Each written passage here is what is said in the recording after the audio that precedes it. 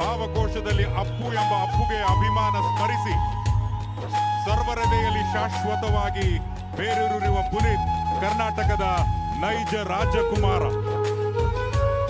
ಮಾನವೀಯ ತುಡಿತ, ಸಂವೇದನಾಶೀಲತೆ, ಸೂಕ್ಷ್ಮಗ್ರಾಹಿ ಮನಸ್ಸು ಹೊಂದಿದ ಪುನೀತ್ ಸದ್ದಿಲ್ಲದೆ ಮಾಡಿದ ಸಮಾಜ ಸೇವೆ ಅಗಣಿತ.